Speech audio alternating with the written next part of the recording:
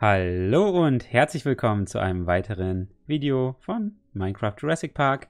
Und äh, mit dabei ist wieder heute die gute Miri. Die versteckt sich gerade. Na? Hallo. Ja, beim letzten Mal warst du ja nicht dabei. Ich habe einen Ort rausgesucht und hier ein ganz tolles Haus gebaut. Und du darfst uns jetzt erstmal sagen, was du davon hältst. Muss ich das? Ja. Ich habe mich schon auf Anschiss eingestellt. Absolut gar nichts. Katastrophe, Das halte ich davon. Das ist. Also, tut mir leid, aber das ist noch schlimmer als Katastrophe. Ja, aber Also, nur mal so zu eurer Info. Wir haben. Ihr habt das, wie, äh, das Haus ja schon in seinem letzten Video gesehen. Ähm, und wir haben gerade mal die ganzen Sachen von drüben hier rübergebracht.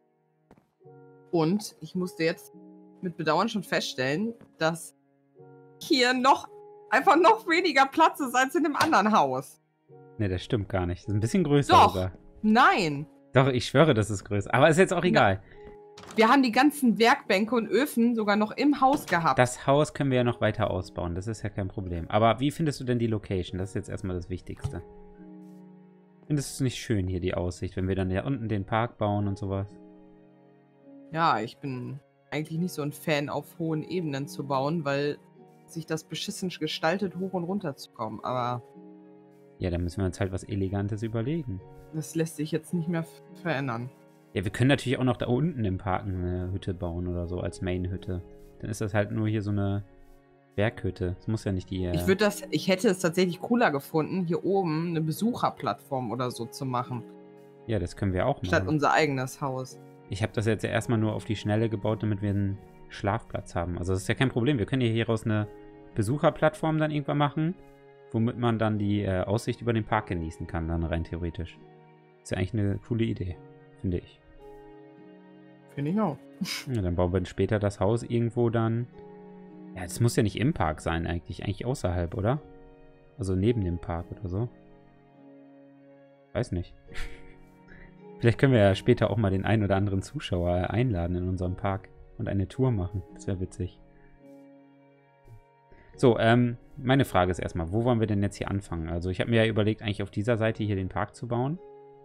Ähm, ich würde auch sagen, dass wir mit so einem Tor anfangen, so einem Jurassic Park Tor. Das wird nur schwierig in der Gestaltung, also das schick zu machen. Vielleicht äh, hast du ja, ja irgendeine Idee oder so, aber wo würdest du es denn hin platzieren? Ich glaube, ich würde das irgendwo. Komm mal mit runter am besten. Also ich hätte den Park jetzt einmal hier komplett rumgemacht. Nicht nur da rechts. Willst du auch noch hier vorne hin, oder was? Dann könnten wir auch. Wir Es, könnten, ich habe mir das jetzt, also wie an ähm, Jurassic World Evolution einfach. das ist eigentlich eine coole Idee. Also, wenn wir irgendwann richtig viele Dinos haben, dass man hier einmal komplett außen geht. Ich meine, klar, man kann da hinten zum Beispiel anfangen mit dem ersten Gehege, dann macht man irgendwie einen Weg und dann das zweite Gehege und so. Man Mhm. kann es ja immer noch hinterher anpassen. Das wäre schon cool, wenn man dann hier so eine Besucherplattform hat und in alle Richtungen schauen kann und um einen herum überall Dinosaurier zu sehen sind. Das wäre schon nice. Äh, ja, ich würde sagen, wir fangen einfach gleich mal an, irgendwie zu bauen, weil sonst. Äh, Da könnte hier man irgendwo zum Beispiel noch ein Café hinmachen oder so. Ja, klar, all, all solche Sachen für die Besucher. Äh, was ich nur mal kurz anmerken möchte. Äh, vielen Dank, dass ihr in die Kommentare geschrieben habt, wie man das Cape deaktiviert. Äh, habe ich umgesetzt, also vielen, vielen Dank. Äh, und ich habe beim letzten Mal leider das Schild überlesen für Daniel. Ich dachte nur, der Hammer wäre für mich. Aber Miri hat auch noch ein Schwert, was ein Eisenbreitschwert. Hat das irgendeine Besonderheit? Miri? Ja, ich habe es mit Diamant veredelt. Das bedeutet, äh, es hat eine längere Haltbarkeit. Und äh, Whetstone habe ich da reingepackt. Ich weiß nicht mehr, was das bringt. Schon zu lange her. Ist auf jeden Fall stärker als das äh, normale Eisenschwert, logischerweise.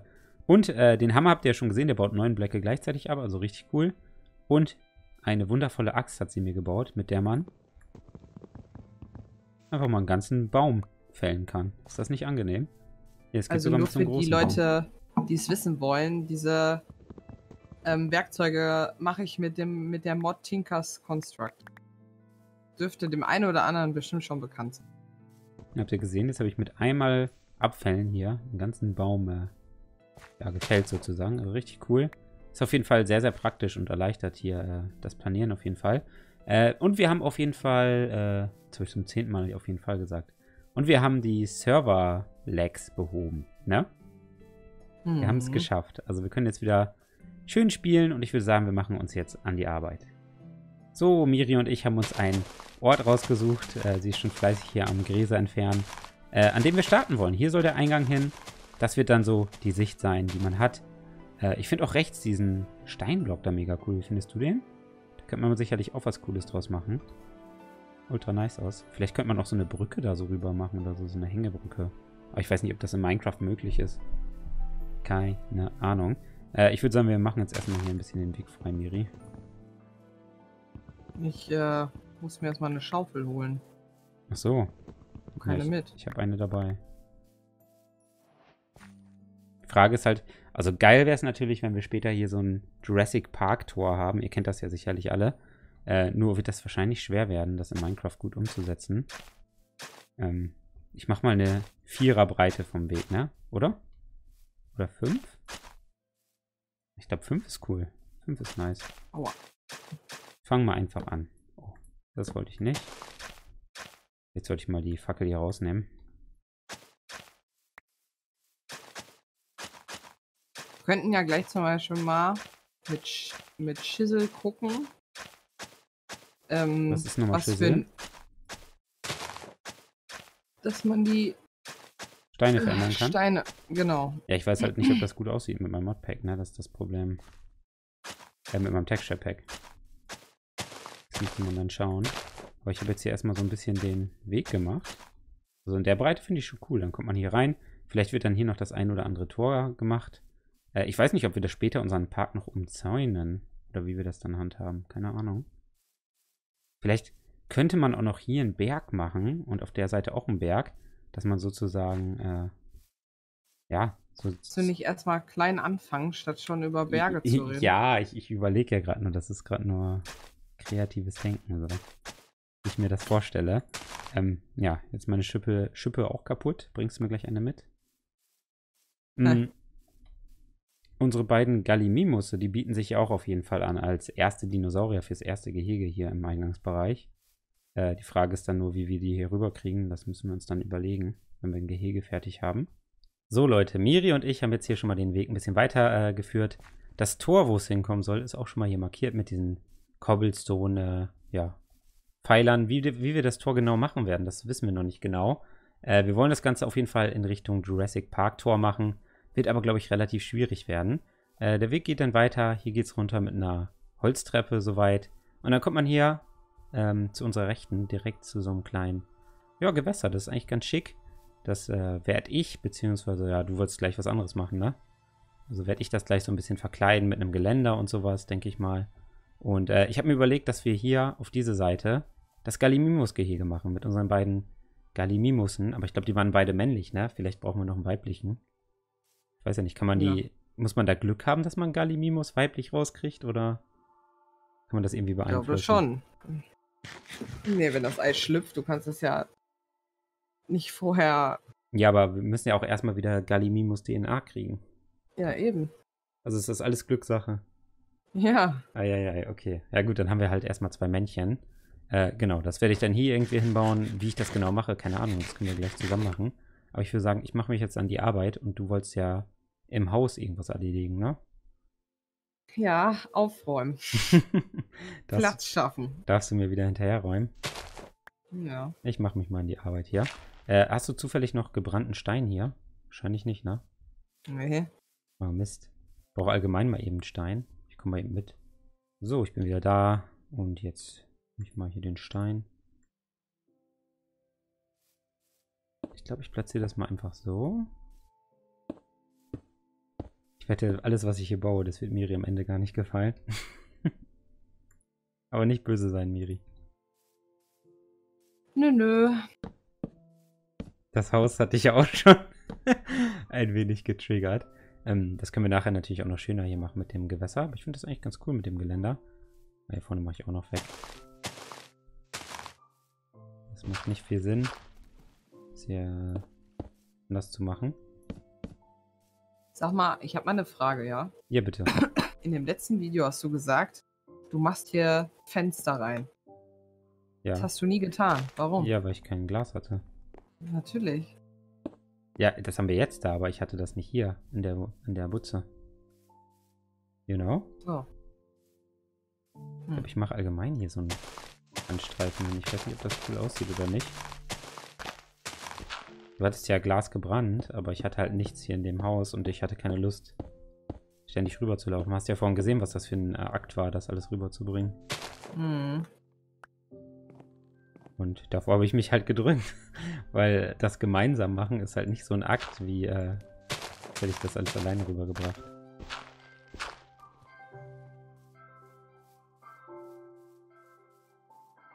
Ich freue mich immer, dass du mir immer alles hinterherräumst. das ist genau wie ein Arc, ne? Ja. Arc räumst du mir auch immer alles hinterher. Ich klatsche alles in irgendeine Truhe rein und Miri sortiert. Ich mach mal erstmal so. Dann gucken wir gleich mal. Also der Weg ist natürlich jetzt noch sehr, sehr breit. Miri hat auch schon gesagt, dass ein kleinerer Weg wahrscheinlich besser ist. Aber ich finde, für den Eingangsbereich ist so ein breiter Weg eigentlich... Ah, ne, hier hätte ich vielleicht rasen lassen sollen, ne? Ich meine, der Park beginnt ja erst dahinter. Äh, ich mache mal eben hier wieder... Ich bin aber auch schlecht sortiert hier in meinem Equip da unten. Okay, das lassen wir so.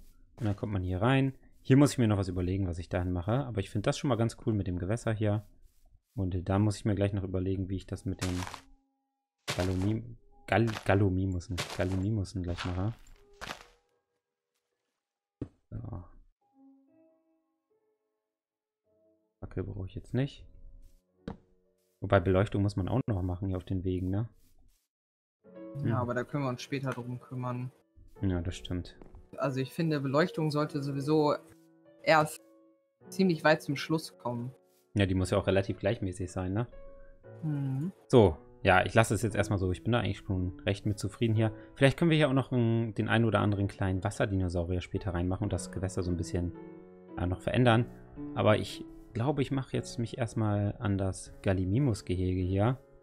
Ähm, dafür muss ich mir erstmal überlegen, wie ich das Ganze gestalte. Ich bin gerade auf dem Weg nach Hause. Ihr seht ja, es regnet und es ist Nacht. Äh, ich kann da hinten auf jeden Fall nicht mehr weiterbauen. Ich habe aber schon mal ein bisschen ausgeleuchtet. Ähm, aber das bleibt nicht so. Ich habe jetzt irgendwie random die Fackeln platziert. Aber gleich spawnen da ganz viele fiese Viecher. Und ich wollte jetzt ganz schnell Richtung Home Sweet Home. Und da können Miri und ich äh, ins Bettchen hier hüpfen. Kommst du? So. Dann ist es auch gleich wieder Tag. Ich hoffe, es regnet nicht mehr. Guten Morgen. Natürlich. Ich höre noch das Regengeräusch, Ah, aber nee. sieht nicht so aus. Okay, dann mache ich mich wieder an die Arbeit. Ähm, also wir haben gerade darüber gesprochen, wie man so einen Gehege am besten gestaltet. Also im Prinzip geht es ja, ähm, also liegt das Hauptaugenmerk ja darauf, dass man einen Zaun baut. Und das ist halt wichtig, wie man den gestaltet. Da gibt es natürlich einmal die Möglichkeit mit diesen normalen Minecraft-Zäunen, die man hier sieht. Äh, die habt ihr ja schon gesehen. Finde ich jetzt nicht so geil, aber ist vielleicht bei einem Gallimimus-Gehege gar nicht so verkehrt. Äh, dann gibt es hier noch ähm, Elektrozäune tatsächlich. Von so einer Mod. Ich weiß gar nicht, welche Mod ist Mr. Crayfish? Ach, Furniture Mod sogar.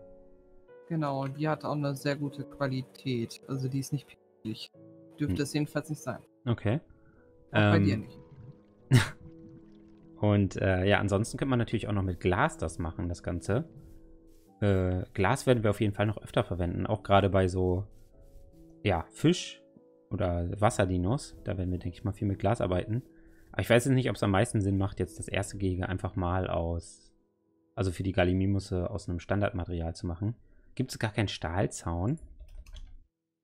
Glaube nicht, ne? Eisen? Was ist denn das? Eisengitter gibt es auch noch, ne? Wie sieht denn das aus? Ich glaube, so einen stelle ich mir mal her. Ich habe natürlich gar keine Ressourcen hier, das ist echt äh, ärgerlich. Und die gute Miri ist schon auf dem Weg, da hoppelt sie und bringt mir natürlich die Eisengitter. und hilft mir auch eben bei der, ähm ja, Da. Mit Glappenstein finde ich das schon viel hübscher als mit Cobblestone. echt? Sieht ja Mhm. schon ganz gut aus, oder nicht? Ich finde es cool. Mir gefällt das. Ist zwar noch sehr, sehr standardmäßig, aber wir können das Ganze ja noch mega ausschmücken, denke ich. Äh, habe ich keinen Platz? Ich habe keinen Platz, tatsächlich. Ich habe übrigens auch noch ähm, Knochenmehl hier, weil ich probiert habe, Rasen wachsen zu lassen, aber ja, funktioniert leider nicht. So, ich bin mal gespannt, wie das aussieht. 16 Stück hast du mir mitgebracht. Oha. Oh, das sieht schon nett aus. Oh, ist voll schwer zu platzieren.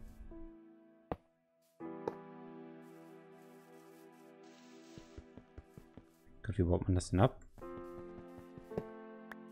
Okay. Also ich finde es jetzt halt, ähm, wenn man hier so ein Gehege macht, ich finde das für die Seite und für hinten cool, aber ich finde bei der Besucherseite könnte man halt echt mit Glas arbeiten, damit die Besucher wenigstens gut durchschauen können, ne? Ja. Wie sieht denn so ein Glasding aus? Hast du gerade wahrscheinlich nicht hier, ne? Nee. Ähm, was findest Ja, du da besser? Blöcke oder diese Scheiben? Scheiben. Okay. Willst du vielleicht nochmal loshoppeln und mal ein paar Scheiben herholen? Aber, ähm, ja, kann ich machen. Das wäre super, danke. Äh, ich baue das hier nochmal ab. Weil ich finde das gar nicht so verkehrt. Aber vergiss nicht, dass, äh, einmal platziert, ne? Ach, Glas geht kaputt, ne? Ja. Ja, gut, dann mach lieber ein bisschen Nein. mehr. Ich meine, das ist ja nur Sand, oder? Sand ist jetzt ja nicht die Ressource, die mega selten ist. Also, was würdest du schöner finden? Achso, du kannst sie auch selber platzieren, ne? Du brauchst mir den nicht jetzt droppen. Ich habe keinen Platz im Inventar. Ähm, wenn das hier noch ein Block unterkommt, das muss jetzt ja nicht dieser Block sein, oder direkt auf dem Boden. Eigentlich ist direkt auf dem Boden schöner, Boden. ne? Ja, Mit- aber ich, Ja, einen anderen Block auf jeden Fall, ne? Wollen wir nicht hier sogar mal ein bisschen mit Farbe schon arbeiten oder so? Könnte man nicht sogar Wolle nehmen und irgendwie einfärben oder sowas? ja. Weil es muss ja nicht alles immer so Ah. im gleichen Farbton sein. Meine, natürlich könnten wir jetzt auch wieder glatten Stein hier machen, damit das. Äh, Was ich ja richtig hübsch finde, sind Quarzblöcke, ja. das sind diese weißen, ne? Aus dem Nether, oder? Richtig, ja. Die sind halt echt geil, ne? Ja, die finde ich auch Immer cool. hübsch aus. Ja, wir brauchen auch noch, Ähm. ähm, wie heißt denn dieses Leuchtende aus dem Nether? Wie heißt das nochmal? Ja, Glowstone. Glowstone, genau. Ähm, eigentlich müssen wir sowieso nochmal einen Trip in den Nether machen, ne? Weil wir brauchen Ja, das da- zum Bauen. Dafür brauchen wir. Obsidian und ein Feuerzeug.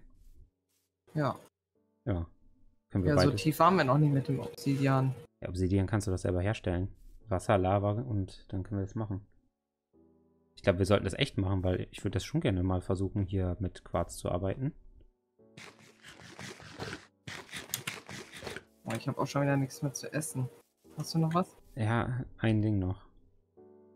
Und Kirschen. Vielleicht sollten wir uns auch erstmal darum kümmern, dass wir eine Essensfarm kriegen. Wir könnten Getreide anpflanzen, wenn du willst. Wollen wir das mal eben schnell machen? Aber was bringt Getreide? Ich glaube, es wäre besser, wenn wir uns tatsächlich selber eine Kuhfarm machen. So, Getreide ist doch auch gut. Kannst Kann du- man Getreide so essen? Nein, Brot, Brot kannst du herstellen mit drei Getreide. Also hier unten in dem Bereich solltest du alles machen können. Was genau muss ich denn damit machen? Rechtsklick. Genau, jetzt kann ich anpflanzen. Du darfst jetzt aber nicht mehr auf diese Flächen springen, weil sonst gehen die kaputt. Glaube ich zumindest. Warte, ich teste mal. Ja, das darf man nicht. Musst du noch mal einmal umgraben da vorne. Wo denn? Wo ich gejumpt bin, siehst du das nicht? Nee. Da? Ah, nee.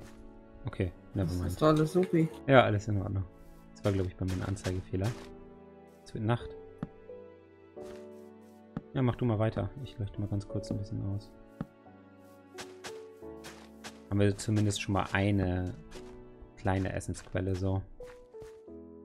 Ich meine, wir können auch Tiere beim nächsten Mal holen, wenn du möchtest. Wir haben halt so viel noch zu tun eigentlich. Reicht erstmal, oder? Nee, weiter. Du brauchst immer drei Weizen ein Brot. Du musst Weizen schon viel anpflanzen.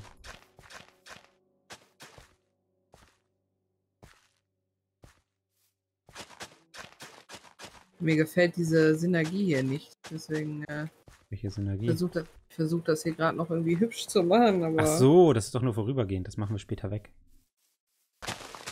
Es ist nur, dass wir erstmal eine Essensquelle haben. Das muss ja jetzt nicht schön aussehen. Wir bitte schlafen gehen? Da hinten ist ein Ender. Ja, machen wir. Willst du nicht nochmal in die Augen gucken vom Schlafen? Ja, habe ich gerade schon fast. Ich weiß aber nicht, ob das auf der Entfernung auch was bringt. Ich glaube schon, aber du musst ziemlich genau... Oh, da sind schon ganz viele fiese Viecher gespawnt. Ab ins Bett. So, wir haben jetzt uns Hammelfleisch besorgt. Und äh, das Praktische an den Hammels war, dass die uns... Hammels an den Schafen war, dass die uns noch Wolle gedroppt haben. Und wir versuchen das jetzt erstmal mit Wolle, weil die, die Wolle ist ja auch weiß, so wie der Quarz. Weil den Nether Trip, ich weiß nicht, ob wir den heute noch schaffen, weil es schon relativ spät. Ne? Und die kleine Miri muss arbeiten. Das ist korrekt. Ja, Wolle sieht jetzt natürlich von der Beschaffenheit hier nicht so passend aus. Aber vielleicht können wir das ja später gegen Quarz eintauschen noch. Weißt du? Wie findest du das denn, dass es weiß ist? Das ist eigentlich cool. Jo. Die Skalimimus-Gege muss auch eigentlich gar nicht so groß werden, ne? Nein. oh nein. Du weißt, dass das jetzt hier erstmal wieder mit Gras nachher wachsen muss, ne? Egal, das machen wir später. Äh. Wie? Das da Ja, die- zu packen? Nee, nee, das ist doof. Wir müssen uns jetzt überlegen. Ich würde sagen, soll das. Das Gehege fängt hier an, würde ich sagen.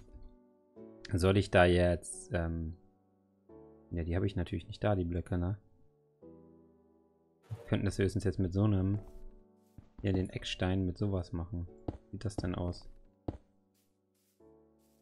Ja, da passt sich das Glas auch an. Ja. Lassen wir das erstmal so. Ich würde sagen, drei hoch muss reichen. Ein Dach muss da ja nicht rüber. Also das ist Quatsch. Hast du noch mehr Glas oder ist schon vorbei? Nee. Schon vorbei. okay. Aber so wäre dann, von der Größe her reicht das ja auch schon, oder nicht? Für Galimimusse. Ja. Wenn wir dann noch nach hinten bauen, hast du noch mehr Wolle? Wahrscheinlich schon, ne? Ja.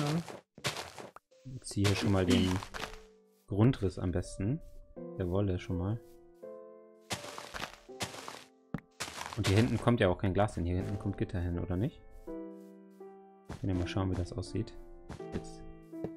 Hier würde ich dann ja das hier hin machen. So. So klein willst du das machen hier, ne? Nein, nein, nein, das kommt noch weiter nach hinten. Ein bisschen Auslauf sollen die schon haben, oder? Ja. Wir müssen halt jetzt nur gucken, wir müssen halt die ganzen Ressourcen und so rankriegen. Äh, ich weiß auch nicht, ob wir das noch schaffen, diese Fol in dieser Folge die Galimimus hier rüberzubringen. Weil wir müssen natürlich auch erstmal rausfinden, wie wir die gezähmt kriegen und wie wir die hier rüberkriegen, ne? Hm. Ich weiß irgendwie nicht, ob mir das so gefällt, dass da hinten auch weiß unter ist bei den Gittern. Guck mal links, siehst du das? Da wü- nee, ich würde zum Beispiel nur da, wo eine Aussichtsplattform ist, weiß machen und den Rest wieder mit Stein. Ja, das Ja. fände ich, glaube ich, auch besser. Ja, würde ich sagen, holen wir noch mal ein paar Ressourcen ran und dann machen wir das, oder? So, wir waren Farm und äh, ja, haben jetzt alles hergestellt. Ich hoffe, das reicht für das Gehege. Ich glaube, das wird knapp, aber ansonsten müssen wir morgen oder so weitermachen, Miri. Weil ist halt, wie gesagt, schon spät. Äh, nicht wundern, hier vorne die Erde habe ich gemacht, damit der eine Block, der vorhin kaputt war, wieder nachwächst mit Rasen. Hm, Das erste Glas ist gerade schon zerschellt, wie ihr gesehen Mhm. habt. Sieht aber schon cool Sehr- aus. Das ist echt nicht so einfach, ey. Ja, man hat aber eine sehr gute Sicht dann hier durch. Also Glas ist, glaube ich, eine sehr gute Idee gewesen. So. Ich weiß gar nicht, wie man das äh, im Gehege dann drin macht. Mit der Gestaltung und so. Bäume und so da vielleicht noch mit rein ins Gehege später? So einen kleinen Baum oder so? Ja, Weiß nicht. klar. Was Aber halt, wie gesagt, Details würde ich erst später machen. ja, klar. Also erstmal bauen wir jetzt hier die Kastenform. Ich fange schon mal an hier. Du machst ja gerade den Zaun, genau. Mache ich mal eben hier schon mal ein bisschen Erde hoch. Ist jetzt hier Teamwork. Willst du das auf, alles auf einer Ebene haben? Äh, gute Frage. Ich glaube, wenn wir hoch machen würden, würde mehr Sinn machen als runter. Weil wenn die da runtergehen wegen der Sicht, oder? Obwohl, wir können das eigentlich so lassen. So sieht das eigentlich ganz cool aus. Vielleicht noch ein bisschen, dass es natürlich aussieht. Das ist eigentlich ein guter Einwand. Äh, aber du musst halt überlegen, ne? Wenn wir das uneben machen, dann wird es auch vom Zaun her schwieriger, ne? Okay, das ist ja nicht schlimm. Hm, guck mal, da oben thront ein Schaf. Siehst du das? Jo. Ja, moin. Ja, dann, äh. Also du müsstest dann halt jetzt hier einen runtergehen, ne? Oder? weiß halt nicht, wie das aussieht dann. Das würde, glaube ich, komisch aussehen. Bau, Mhm. bau mal den Zaun daran, wie das aussieht, wenn man da runter geht. Und irgendwie komisch, oder? So würde das aussehen. Also wenn, dann müsstest du den Zaun trotzdem auf diese Höhe machen hier. Halt höher. Dann wird das klar gehen. Also, dass du dann bei dem Zaun auf 4 gehst, weißt du? Aber warum? Ich finde das halt, also ich finde es schöner, wenn das gerade abschließt, so. Du nicht? Also man muss es nicht machen, aber ich glaube, ich fände es schöner. Du kannst es ja mal machen, wie das aussieht dann. Dann werden wir aber viel, viel Eisen benötigen, wenn wir dann jeden. Ja, ich Dings. weiß. ja, stimmt, wenn wir jedes Gehege so machen, das wird ganz schön heftig. Ja. Wir müssen halt überlegen, ob wir dann teils mit Creative-Modus arbeiten oder so, ne? Weil wir können nicht jetzt jedes Mal stundenlang farmen. Dafür fehlt uns einfach beiden die Zeit. Ähm, ihr könnt ja mal in die Kommentare schreiben, ob ihr es okay findet, wenn wir uns ähm, Ressourcen, die sowieso einfach nur ja, Zeit fressen, auch mal einfach uns aus dem Creative-Modus holen. Weil ich glaube, so Eisen und so zu farmen, das ja, ist halt jetzt nicht wirklich gefährlich oder so. Aber so Sachen wie Quarz würden wir natürlich uns nicht ercheaten, weil die wollen wir schon äh, gemeinsam dann erforschen. Ihr könnt es ja mal in die Kommentare schreiben, ob ihr es in Ordnung finden würdet oder ob wir uns trotzdem alles äh, hart erarbeiten sollen. So, was sagst du? Gefällt dir besser oder nicht? Ich fand es tatsächlich mit Höhenunterschieden besser. Ehrlich? Aber Ja, du hast jetzt auch so eine komische Ecke da drin, ne? Ja, auszusehen. Äh. Ich finde, das sieht dann authentischer aus. Weil wenn der Boden abflacht, dann kann der Zaun auch ruhig abflachen. Das sieht sonst aus wie ein Gef wirklich wie ein Gefängnis, wenn alles Ja, dieselbe stimmt, so Höhe ein, hat, so ein? Kasten, ja, du hast schon recht. Ja, mach das nochmal weg und dann äh, machen wir mal den Zaun noch ein Stück Ich weiter. brauche eine Spitzhacke, ich krieg das nicht weg. Ja, okay. So, Leute, äh, ihr seht, wir sind jetzt so weit gekommen hier mit äh, dem ja, Gehege und sind jetzt die Materialien ausgegangen. Wir haben aber leider nicht mehr so viel Zeit hier, weil Miri gleich ins Bettchen muss. Und haben uns jetzt die restlichen Materialien erstmal über den Creative Mode, heißt er, glaube ich, ne? äh, Mhm. geholt. Äh, ich hoffe, das ist in Ordnung. Ihr könnt ja echt mal in die Kommentare unten schreiben, ob das okay für euch ist, äh, dass wir das bei solchen Sachen machen oder nicht, weil äh, wir würden uns dann natürlich anpassen. Das Gute ist, wenn wir ähm, uns solche Materialien halt über den Creative Mode holen, dann wird das Ganze hier mit dem Parkbauen ein bisschen schneller vorangehen, auf jeden Fall, als wenn wir hier ständig farmen müssen. Ähm, wobei wir dann natürlich auch nichts gegen haben, aber so ein bisschen Fortschritt ist natürlich auch nicht verkehrt. Äh, wir brauchen noch eine Tür hier drin, Miri. Gibt's sowas? Hier Gibt's hinten? Ja, wir müssen da auch mal rein und raus, ne, in das Gehege. Tür. Gibt's nicht eine Eisentür? Ja, Eisentür. Hast du gerade noch Eisen bei? Wahrscheinlich nicht, ne? Doch, tatsächlich. Äh, gib mal her. Vier Blöcke, wenn du Eisen hast. Cool. Mach ich mal eben eine Tür. Und dann schauen wir mal. Du kannst ja schon mal. Willst du eine Doppeltür oder eine einfache? Eine einfache reicht, oder? Du musst mal gucken, machst du das jetzt über mit der Mod oder mit normal? Normal. Minecraft? Wieso? Ja, weil die Eisentür von der Mod, die hatte ich schon ausprobiert und die kann man nicht öffnen. Ich weiß nicht warum. Ach so, nee, ich mache jetzt eine ganz normale. Ich mache mal zwei Stück. Ah, das sind sogar drei Stück. Okay. Oh. Wollte ich nur gerade ablegen. Ähm, ja, wir müssen mal schauen. Also die Eisentür ist halt für uns dann. Wir sind dann ja sozusagen die Parkwärter oder Ranger. Und äh, müssen ja auch ab und zu mal da rein zum Füttern und sowas. Oh. Erstmal komplett falsch rum. Beide falsch rum platziert. Äh, das funktioniert aber auch mit den Gittern nicht richtig, ne? Ich glaube, da müssten wir nochmal oben ran. Da oben drauf geht's. Müsste doch reichen, oder?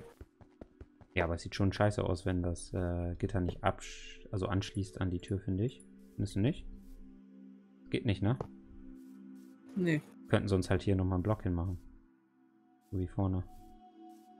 Könnten wir allgemein an die Ecken machen, oder? Wie vorne? Meinst du nicht, dass das. Sinn macht? Aber dann schließt es hier trotzdem nicht an. Wieso? Ja. Ach so, da kannst du ja auch dann Stein machen. Wäre nicht schlimm, wenn du da mal einen Steinrahmen machst. Die Tür denn jetzt überhaupt richtig rum drin? Aber ich krieg die auch nicht auf, ne? Also, Ja, was denn damit? Ich glaube, Eisentüren kriegst du nicht auf, dafür brauchst du einen Schalter. Glaube ich bei Eisentüren immer so, kann das sein? Sieht irgendwie komisch aus. Oder? ja, weil hier noch ein Stein fehlt. Sonst sieht total blöd aus. So. Schon besser. Und Mit- Stein eigentlich 30. Hä, das ging bei dir mit Cobblestone? Nein. Ah. Ist egal. Ah, look at dies. Aber wir brauchen auch innen welche, ne? Wo innen können wir auch einen Knopf machen, finde ich. Also nach, sonst laufen die Gallis hier rüber. Wir müssen innen einen Knopf machen, weil sonst laufen die da rüber und gehen hier raus. Macht Sinn, oder? Ja. Brauchen wir hier ein. Knöpfchen an der Wand? Dann brauchen wir einen Stein. Sonst komme ich jetzt hier wieder raus. Da brauchst du Ja. einen Knopf oder die Druckplatte eben. Noch sind die Gallis hier nicht drin. Ja, Gott sei Dank. Oh, wie schnell jetzt hier der Rasen nachgewachsen ist. Nicht schlecht. So. Kopf ist gemade. Knopf ist gemaked. Und Englisch ist da. Sehr gut. So. Nehme ich mal wieder auf. Und dann haben wir unser erstes Gehege fertig. Cool. Klappt. Ja. Mal schnell raus.